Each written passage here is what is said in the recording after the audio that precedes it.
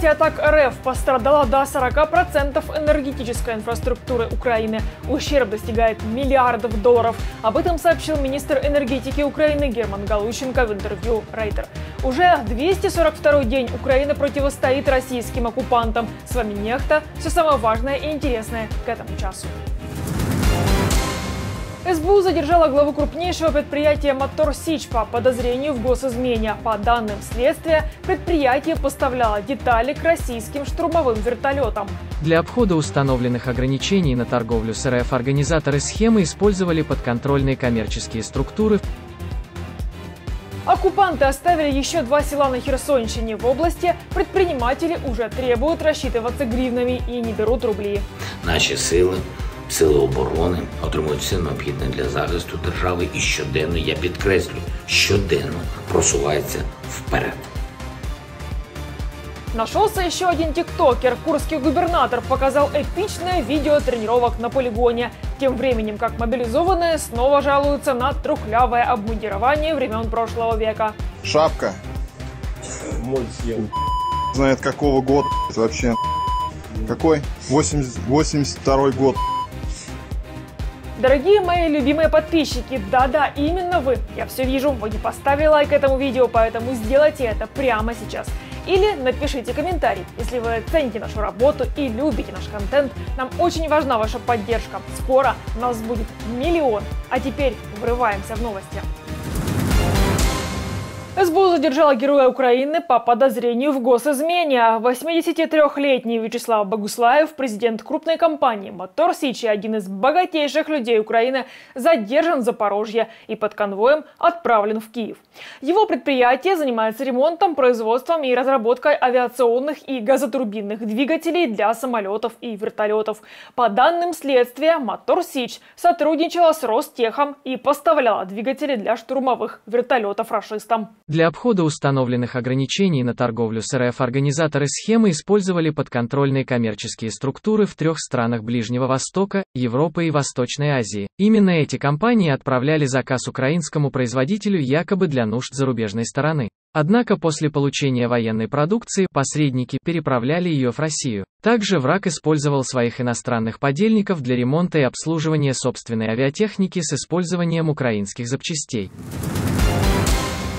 Тем временем украинские войска за сутки сбили два российских вертолета К-52 «Аллигатор», сообщают воздушные силы ВСУ. Именно для вертолетов этого типа, к слову, и поставлял двигатели «Мотор Сич». Около 12.00 был сбит вертолет в Береславском районе Херсонской области, а около 16 еще один был также сбит на южном направлении. Рашисты хвастались уникальностью этих вертушек, о том, что они летают на предельно малых высотах со скоростью более 100 км в час. И, как видим, довольно неплохо падают. Авіація Сил оборони протягом минулої доби завдала 17 ударів.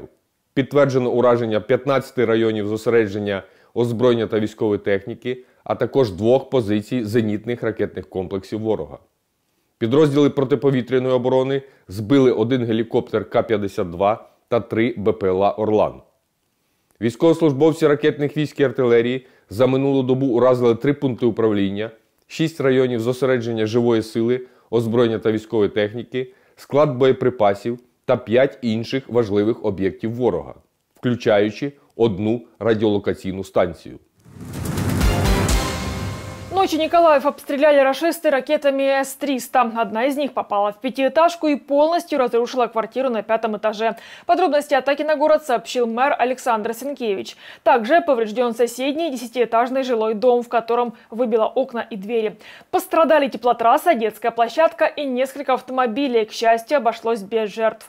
Один мужчина получил легкие осколочные ранения. Дронами камикадзе атаковали Запорожье. Один из них попал в общественное здание. 14 шахедов сбили ночью в Николаевской области. Тяжелое разрушение мы показать вам не можем. Заходите на наш телеграм-канал Нехта Лайв. Одна из ракет попала в пятиэтажный жилой дом, полностью разрушив квартиру на пятом этаже. Также повреждения получил соседний десятиэтажный жилой дом. Обломками и взрывной волной в нем вынесло окна, двери, изуродовали балконы. Повреждены также теплотрасса, детская площадка и несколько припаркованных автомобилей. Предварительно три человека получили ранения. Также из-за вражеских обстрелов разрушено складское здание, в результате чего один человек госпитализирован.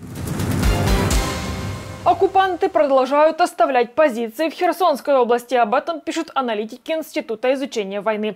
Рашисты бегут с запада Херсонской области и готовятся к маневренной обороне.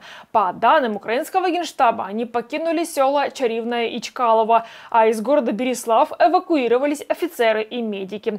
Херсон покинула большая часть оставшихся там жителей. В сводке отмечается, что российские войска готовятся к сдерживающим действиям. Сообщается, что сегодня в городе пропал интернет. Отметил наступление украинских войск и президент Зеленский подчеркнул, ракетный террор наступление не остановит. Я хочу підкреслити, ані цей удар терористів, ані будь-які інші подібні їхні удари не зупинять наших захисників. Російські пропагандисти брешуть, коли кажуть, що нібито цей терор проти нашої інфраструктури і людей може якось загальмувати активні дії наших військових чи створити якісь складнощі нашій обороні. Українці об'єднані і точно знають, що у Росії немає шансів виграти в цій війні. Наші сили, сили оборони отримують все необхідне для захисту держави і щоденно, я підкреслюю, щоденно просуваються вперед. В Херсоне тем временем уже отказываются принимать рубли и просят рассчитываться гривной, пишут местные паблики. На заправках, в частности, цены на стелах пишут в украинской валюте. Также по информации от местных сейчас за 150 гривен в обменниках просят 1000 рублей, хотя на других временно оккупированных территориях курс близок один к одному. Дмитрий Анатольевич, тут приехали, м, почему мы продаем за гривны? Сейчас я дам трубочку. Алло, да, здравствуйте. Да, я хотел уточнить, а почему вы работаете только за гривны? А, а как зовут руководство? Фамилию, имя, отчество, пожалуйста, назовите. Перми два человека погибли при пожаре на пороховом заводе. Там накануне вечером произошел взрыв, в результате которого два человека погибли, сообщают местные издания. Под завалами могут оставаться еще четыре человека. Завод работал в три смены, из-за войны там увеличили штат. На предприятии изготавливают заряды к системам залпового огня «Град», «Смерч» и комплексам ПВО. Это не первый случай гибели работников этого завода. В мае этого года на предприятии из-за пожара один человек погиб, и двое пострадавших были доставлены в больницу, где один из них позже умер. За последние семь лет это пятое происшествие, о котором стало публично известно.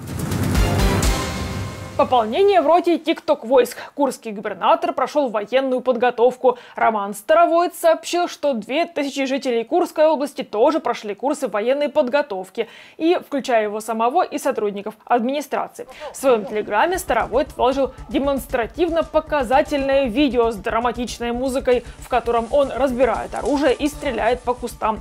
Следом за бункерным выступления с автоматами побежали делать и в регионах.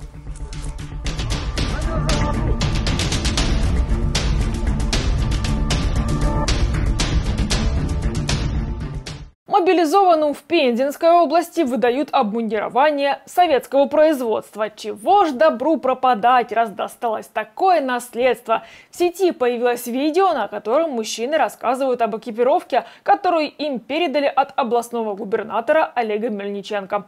Авторы видео жалуются на качество обмундирования, которое было изготовлено в прошлом веке. Шапка. Знает какого года вообще. Какой? 80, 82 год. Носки до колен. Гольф. Две пары перчаток, которыми стрелять вообще невозможно. Это что за... Дальше. Кокарда. Самое главное у бойца, чтобы была кокарда. Около 20 мобилизованных россиян удерживают в подвалах так называемой ЛНР. Мужчины отказываются идти на передовую без подготовки. Они записали видео для телеграм-канала Астра об условиях пребывания в подвале. Их якобы бросило командование и теперь угрожают им 10 годами строгого режима за отказ идти под пули. Вот такая жизнь в комендатуре. Да, все течет, все капает. Си Цзиньпина переизбрали на новый срок во главе Коммунистической партии Китая по итогам 20-го съезда партии. Си Цзиньпин находится у власти с 2012 года. Он продавил поправки в Конституцию, которые позволяют избираться пожизненно. Кроме того, обновился состав постоянного комитета Политбюро партии. Теперь он состоит исключительно из ближайших соратников Цзиньпина и его самого. Одним из первых его поздравил президент России Путин. Он отправил Цзиньпину телеграмму. Следом за ним поспешил с поздравлениями еще один диктатор Лукашенко. Примечательно, что всем им, кто не держится за власть синими пальцами в районе 70 лет. Как думаете, совпадение? Напишите в комментариях. На этом у меня вся информация. Напоминаю, самое актуальное и интересное в наших телеграм-каналах Нехта. Поддержать нашу работу и развитие YouTube ресурсов можно по ссылкам в описании. Призываю вас к активным дискуссиям в комментариях или поставьте лайк этому видео. Это способствует продвижению и еще больше людей узнают правду. Спасибо, что остаетесь с нами. До новых встреч, хороших вам новостей. Слава Украине! Живи Беларусь!